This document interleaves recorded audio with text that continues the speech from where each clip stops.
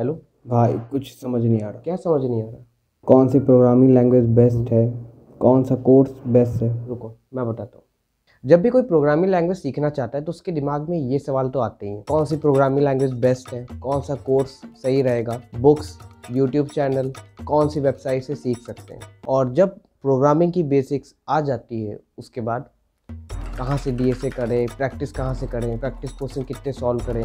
रुको रुको रुको रुको रुको। अगर मैं ये कहूँ कि ये सब आपको एक ही जगह मिल जाएगा तो मतलब कौन सी प्रोग्रामिंग लैंग्वेज बेस्ट है? प्रोग्रामिंग लैंग्वेज की बेसिक्स डीएसए और उसके बाद जब और पढ़ने का मन करे तो क्लाउड कंप्यूटिंग मशीन लर्निंग ऐसे एडवांस टॉपिक भी। ये सब और इसमें भी video lecture theory tutorials coding problem और क्विज तो मुझे एक वेबसाइट मिली जहाँ पे आप ये सब फ्री में सीख सकते हैं जहाँ पे आपको ये सब मिल जाएगा video lecture theory tutorial problem quiz मतलब मतलब मतलब अगर आपको कुछ करने की ज़रूरत नहीं वहाँ पे बस आपको जाना है और सीखना है। तो वो वेबसाइट है। सब्सक्राइब करने को बोल देना। हाँ हाँ हाँ मैं बोल रहा हूँ वीडियो के लास्ट तक बोल रहा हूँ।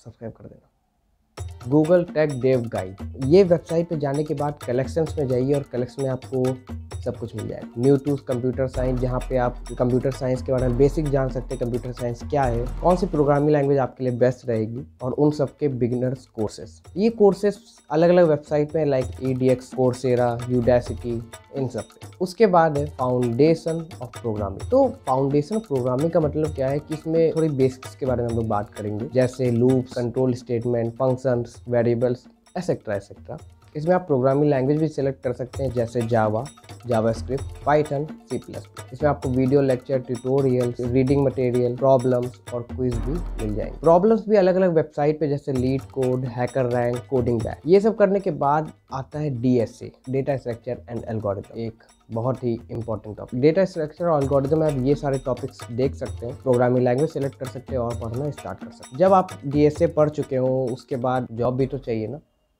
है ना? तो उसके लिए इंटरव्यू प्रिपरेशन जहाँ प्रॉब्लम्स हैं। नहीं मेरी नहीं प्रोग्रामिंग प्रॉब्लम्स प्रोग्रामिंग प्रॉब्लम पे आप इंटरव्यू प्रॉब्लम सॉल्व कर सकते हैं जो आपको टेक्निकल राउंड में हेल्प करेंगे। ये सब करने के बाद इतना पढ़ने के बाद अगर आपका मन हो तो आप क्लाउड कंप्यूटिंग और मशीन लर्निंग भी कर सकते हैं। अब इधर उधर जाने की ज़रूरत नहीं है। कोडिंग स्टार्ट करिए। लिंक डिस्क्रिप्शन में।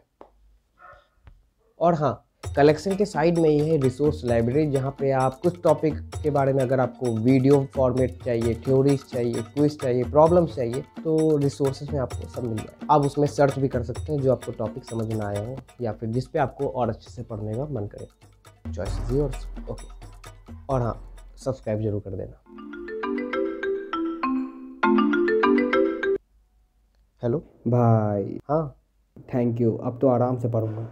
हाँ वो सब तो ठीक है। आ, वीडियो को लाइक किया हाँ भाई कर दिया। हाँ, और शेयर हाँ शेयर भी कर दिया। हाँ। Okay bye okay bye